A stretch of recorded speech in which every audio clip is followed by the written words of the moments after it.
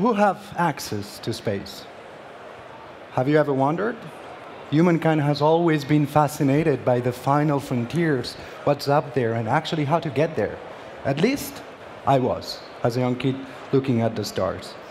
And that's why I became an engineer, actually really fascinated by machines and actually transportation means. And if you think about it, every time there has been a new transportation mean, it has been a revolution. Just think about boats with international trade, trains, planes. In the 21st century, it's going to be about reusable rockets that will really reshape the economy around it. Because space, what about space? Space is big, of course. Many claim that it's limitless. It's, you have unlimited possibilities, but actually the ones that put numbers, actually Bank of America said it's over uh, $1.4 trillion economy by the end of the next decade.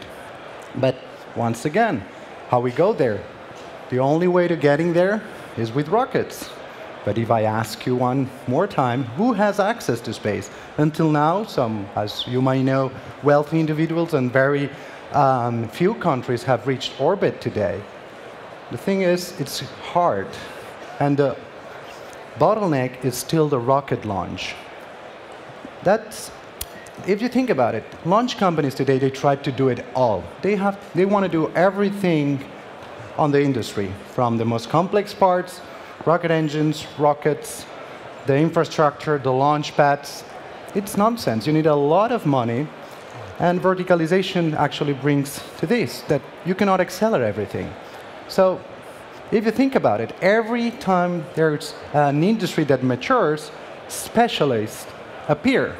If you look at this beautiful picture of an orchestra, everyone has a very specific job and they master the instrument. And when you listen at the, the overall, it just sounds marvelous.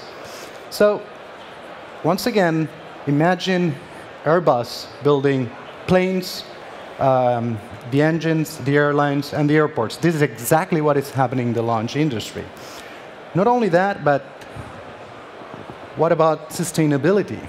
You're looking here at a very beautiful picture of a European institutional launcher called Vega that utilizes solid propellant, which they work perfectly, but they really uh, leave some nasty elements in the upper layer of the atmosphere. And the privatization of space, it's about volume. If you want to keep up the demand, reusability and sustainability will be key. So if we wrap it up at Pangea Space, we focus. We focus on hardware. We don't want to do it all. We want to excel on the hardware, not operating it. And if we break it down more specifically, we concentrate on one of the most complex part, which is the engines, propulsion. And as a propulsion engineer myself, let's break it down to earth and do a rocket propulsion 101. So you can see on the lower part how a conventional rocket engine looks like, this bell-shaped one.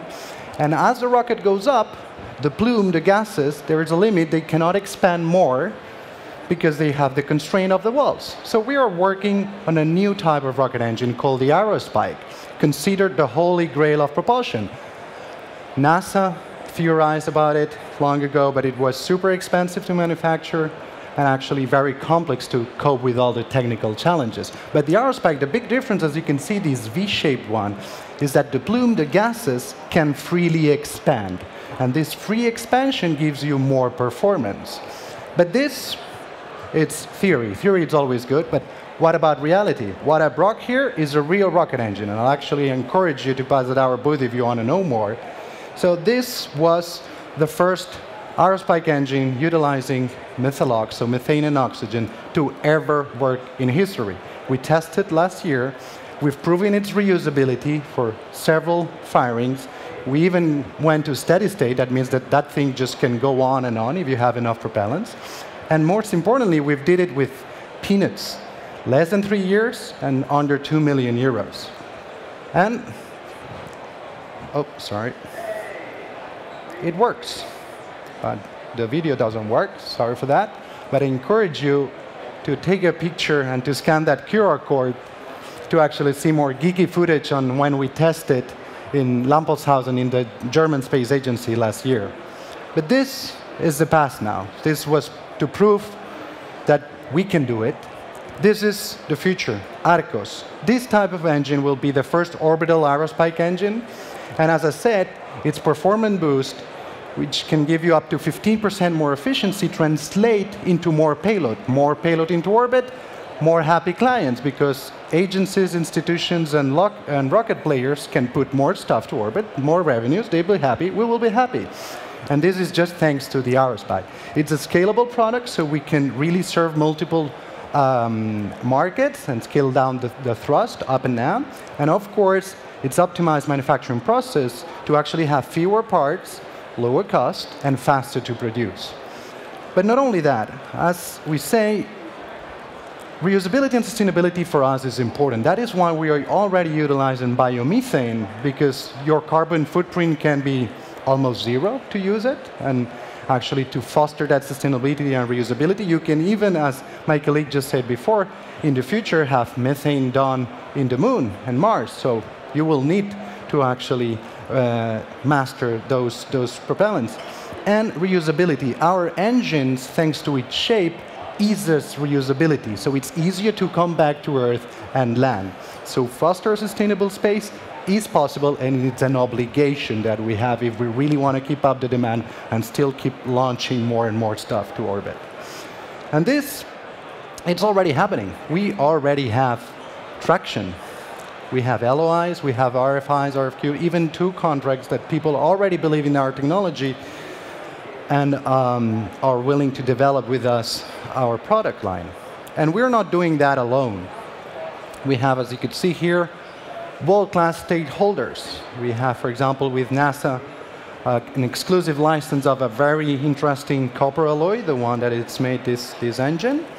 And we are one of the fuel launcher company technologies invested by two governments, in our case the Spanish one and the French one. We are based in Barcelona, Spain, and Toulouse, France.